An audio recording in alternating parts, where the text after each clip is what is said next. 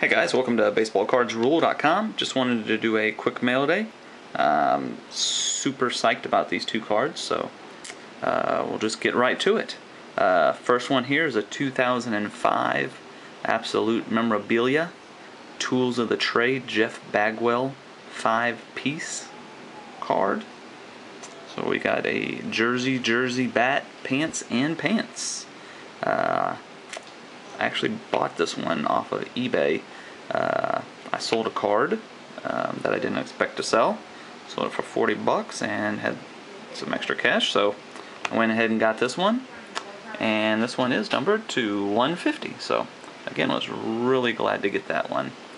This next one here, I was really lucky to get uh, since this is how it was in my mailbox. So this is what I got this was from a trade on Beckett. So anyway, uh, it's a Mark Teixeira, and this is a 2009 Topps Sterling.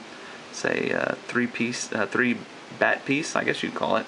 I don't know if there's actually three individual pieces there, or you know when they do these, or if they're just one big piece and they make it look like three pieces. So anyway, uh, was really glad to get this card. Um, it's numbered to uh, to 25. So a uh, big fan of his. So uh, anyway, that's uh, that's it. So uh, thanks for watching, guys, and uh, please don't uh, forget to visit baseballcardsrule.com.